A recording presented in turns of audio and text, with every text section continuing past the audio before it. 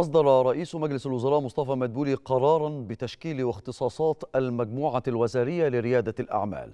ونص القرار على أن تشكل, تشكل هذه المجموعة الوزارية برئاسة وزيرة التخطيط والتنمية الاقتصادية والتعاون الدولي وعضوية وزراء الاتصالات والتعليم العالي والمالية والتموين والاستثمار والرئيس التنفيذي لجهاز تنمية المشروعات المتوسطة والصغيرة ومتناهية الصغر.